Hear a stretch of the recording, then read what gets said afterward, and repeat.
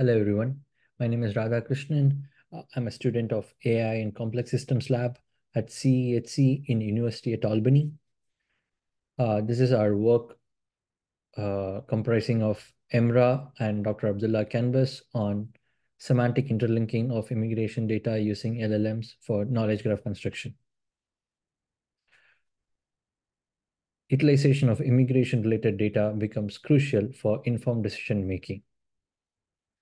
The heterogeneity, the intricacy of immigration data makes it complex for traditional databases. They have limited scalability and flexibility and often incur significant expansion costs.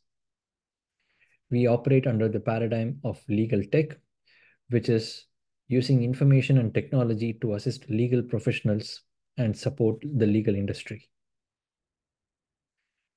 The data for our project comprises of applicants' PDFs that have been submitted for AOS application process, which is adjustment of status. We are using LLMs to build knowledge graphs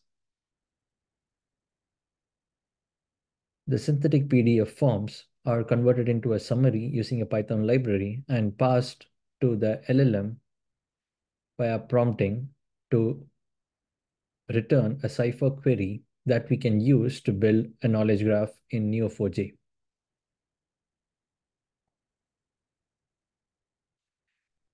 We achieve context-aware categorization of various sections individually and established relationships with minimal manual intervention.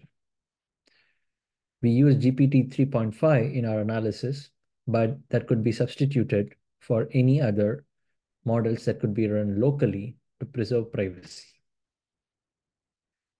Due to the context length limitation, the node ID and the label names had to be changed to retain consistency.